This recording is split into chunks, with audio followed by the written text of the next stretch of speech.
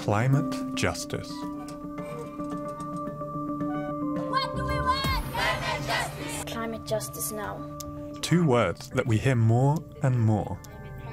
But climate justice is linked to racial justice, social justice, and intergenerational justice too. This is why we call not only for climate action, but climate justice. Two words that could define the century. No climate justice without racial justice. There is no climate justice without gender justice. There is no climate justice without queer justice. But what exactly does climate change have to do with justice? Aren't we all in this together? To understand climate justice, we need to understand climate injustice. Who causes climate change, and who's hurt by it? Let's first look at who's responsible for putting carbon dioxide into the atmosphere and heating the planet. Imagine this grain of rice is one ton of carbon dioxide. Each year, the average person in Nigeria adds less than one grain into the atmosphere, the average person in India, two grains, in China, seven grains, in Germany, 10 grains, in the US, 17 grains. In one year, the average American pollutes 20 times more than the average Nigerian. But the problem with carbon is that it stays trapped in the atmosphere for centuries. So it's not just about how much we add each year, it's about how much has piled up over time. Since 1850, that adds up to about 1,500 gigatons. Okay, so we wanted to pull loads of these rice bags on the table to show you how big that really is, but after doing the math, we realized we need 3 million of them. Historical emissions matter today because countries are arguing about how soon they have to cut their net emissions down to zero. Big polluters like China, India, and Brazil look a lot less guilty when you consider they've only recently become part of the problem.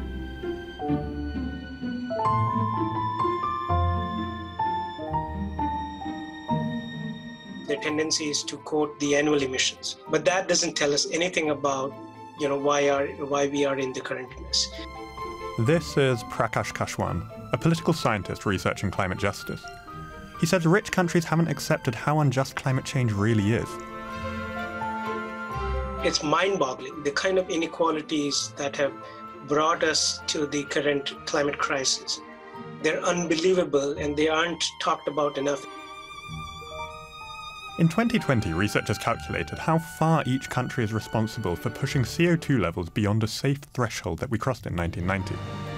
The study takes into account how many people live in a country, how much they emitted throughout history, and includes emissions that cross borders through traded goods. The research shows that rich countries have outspent their carbon budgets. By a lot.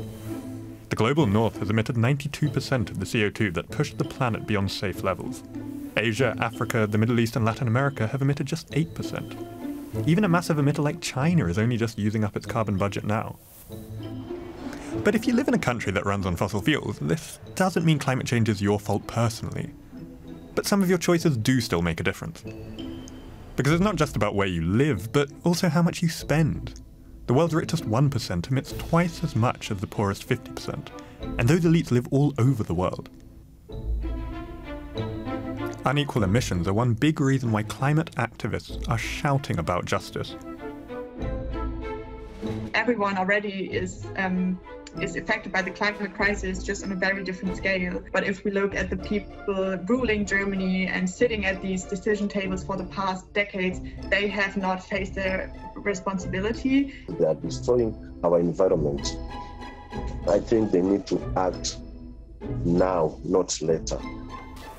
But hold up. CO2 heats the planet by the same amount whether it comes from Germany or Kenya. The climate doesn't care about geography. Well, geography cares about the climate. The second part of climate injustice is that even though poorer countries have done the least to change the climate, they're the ones getting hurt the most. Take heatwaves and drought. Heatwaves are becoming most unbearable across Africa, where droughts are even more punishing for crops. Then there's storms. Warmer air means that hurricanes and typhoons carry more energy and unleash more rain and stronger winds across the tropics. And by 2050, sea levels will have risen so high that floods which used to hit once a century will strike many coastal cities every single year. You can check out one of our other videos to see how some cities are trying to keep themselves afloat. The inequalities of climate change come together hardest in a country like India. Even though its people have barely contributed to global warming, they're among the most vulnerable. India's coastal cities are facing unprecedented floods while its rivers dry up, leaving farmers struggling to grow staples like rice and wheat.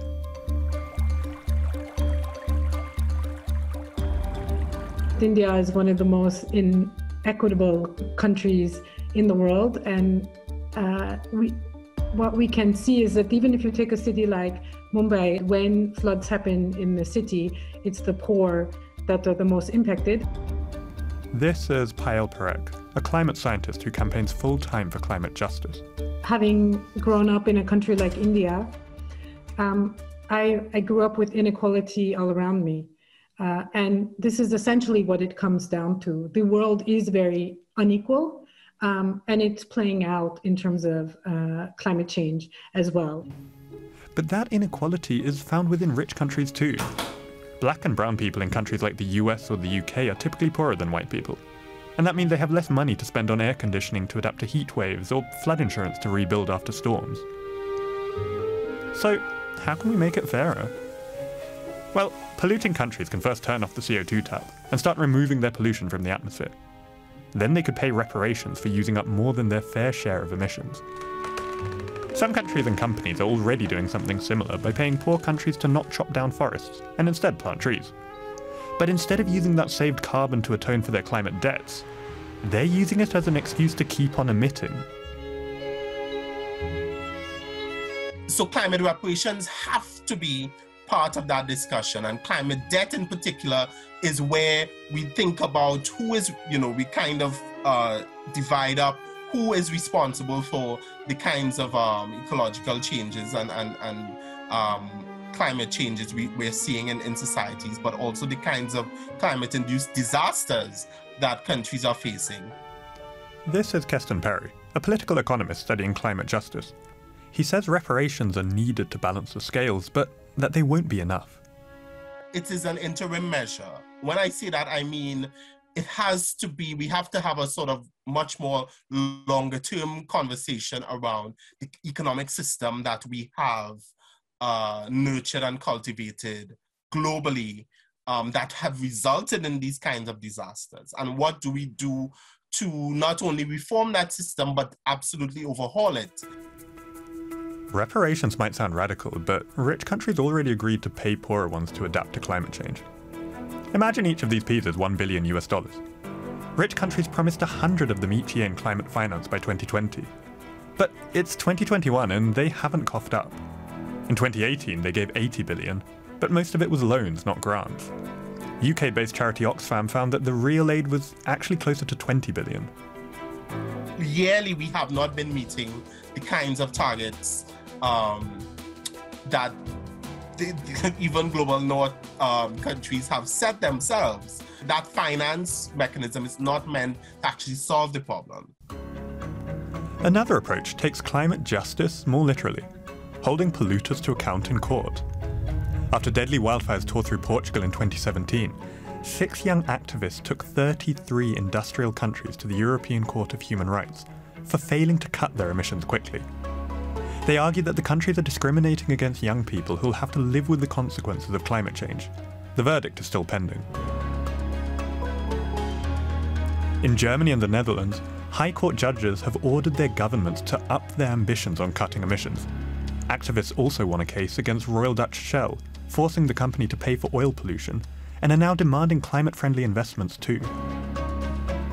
So, the, the basic legal argument for uh, assigning responsibility is your contribution to the problem. So, how much do you emit? How much do you contribute to climate change, greenhouse gas emissions? And what is the possibility uh, for contributing to the solution? The defendants argue that national courts don't have the right to rule on the climate because emissions and their impacts are global.